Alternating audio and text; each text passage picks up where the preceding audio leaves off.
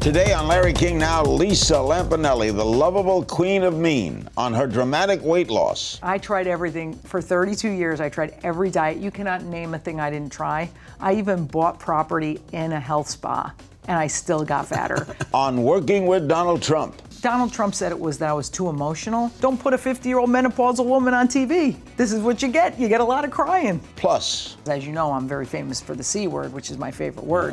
Why and, is that uh, your favorite word? I just enjoy it because nobody uses it with love the way I do. That's next on Larry King Now.